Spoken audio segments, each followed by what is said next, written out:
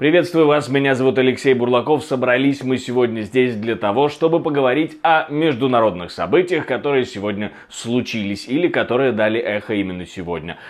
Поехали! Сегодня будем говорить про Грузию, будем говорить про Орбана и Венгрию и будем говорить про боеприпасы и самолеты для Украины. Наверное, самая бомбовая новость на сегодня это Грузия, в которой задержали целую партию с взрывчатыми веществами, которые, конечно же, готовились переправить в Россию.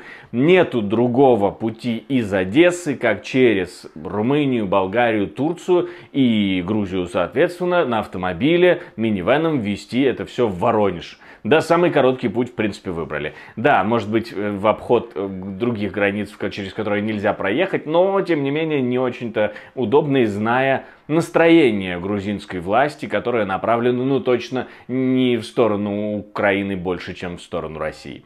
А еще и если учесть последние изменения в правительстве грузинском, о которых мы говорили с вами не так давно, то, в принципе, все становится понятным. Давайте еще раз напомним.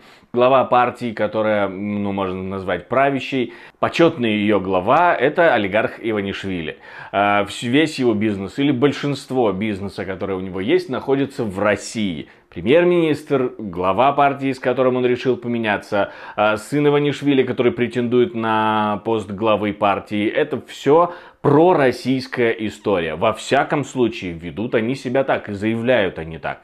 Президент, который вроде бы тоже из этой же партии, вроде как отбивается от этой партии. И когда она, допустим, летает поговорить с кем-то в Европу и формально не договаривается об этом с парламентом, хотя по закону должна, ей чуть ли не объявляют импичмент. Ну, на самом деле ей объявляют импичмент. Так, так вот, что случилось?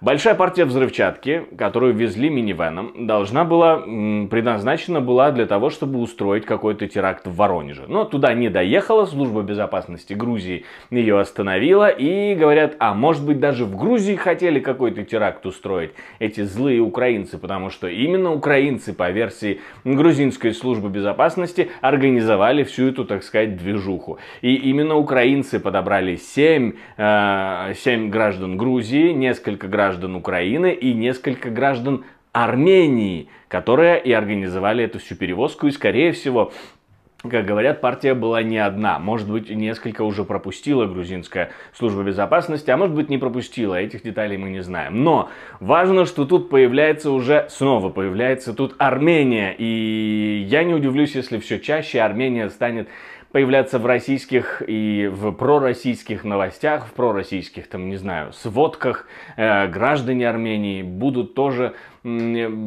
обретать негативные черты. Не демонизироваться, потому что до этого еще далеко, но про плохое про них будут говорить, это точно, поэтому готовьтесь. Не менее важное событие – Венгрия, Орбан, о котором мы говорим практически каждый раз, и который на самом деле имеет свою целью, наверное, не слазить с первых полос газет, не уходить из заголовков газет и всеми скандалить.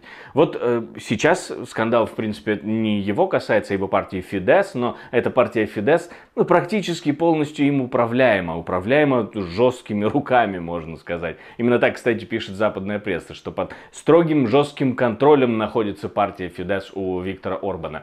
Так вот, эта партия сегодня не явилась на заседание парламента. Ну, казалось бы, и что тут такого? Но на этом заседании парламента должна была рассматриваться ратификация вступления Швеции в НАТО не явилась. И поэтому сегодня 5, 5 февраля, и теперь этот вопрос откладывается на 26 февраля, то есть через три недели аж, потому что дальше депутаты уходят на зимние каникулы. Вот партия Фидес Орбанская решила уйти на зимние каникулы на денек раньше. Почему нет? Это же не такой уж и важный день. Ну, ратификация какого-то вступления в какое-то НАТО, непонятно. В общем, не придали значения э, этой истории представители Фидес, но Орбан в то же время говорит, что вот вот человека, который более за Швецию в НАТО, просто найти невозможно. Он за. Все отлично. Надо только, чтобы парламент проголосовал.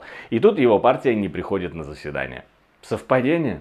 Ну и как я обещал, поговорим про оружие, которое передается от западных партнеров Украине. Как минимум на 6 самолетов F-16 больше получит Украина от Нидерландов, и это уже хорошо. И как только Сергей Наев, командующий Объединенными силами, сказал, что в следующем пакете западной помощи мы получим именно самолеты с дальнобойными ракетами, не сказал откуда, не сказал сколько, но теперь мы понимаем откуда, и теперь понимаем сколько, и теперь даже можем понять приблизительно с какими дальнобойными ракетами ракетами. Но мы не будем об этом говорить, не будем называть, предполагать, с какими именно ракетами, потому что это ну, не совсем полезно для нашей обороны. Но, э, кроме того, э, Нидерланды передадут 18 самолетов сначала, и потом, я так понимаю, еще догрузят 6. Это не все самолеты, которые получит Украина, их будет больше. Просто Нидерланды передадут их первыми. Когда? Это тоже очень важный вопрос, на который нету пока ответа у нас. Но есть ответ на другой незаданный вопрос про артиллерию. Мы часто говорим о том, что